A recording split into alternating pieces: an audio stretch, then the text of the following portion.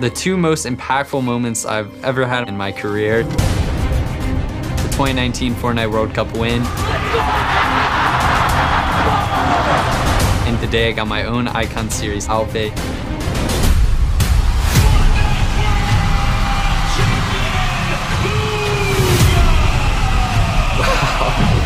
There are three variants of my outfit. This looks exactly like me. They got the joggers on, the shoes, the hair, everything is perfect. You got the World Cup variant, which is super cool. All right, I'm spinning around real quick and look at the back. Wow, it looks just like the World Cup trophy. My dog, Zoe, in the trophy. Zoe, look, you're in the trophy.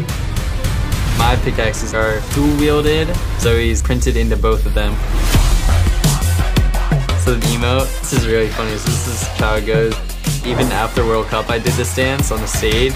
I actually can't wait to get in game and play with this. This is so sweet.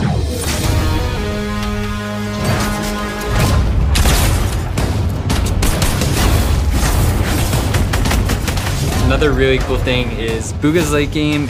It is the first competitive all-out game mode. It is trios. You start off in the third zone, set materials, weapons, loadouts.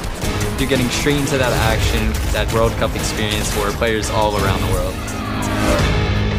I used to dream of the day that I would get my own Icon Series outfit. Now that it's here, I'm super excited with how this turned out. This is really cool and I hope everyone likes it.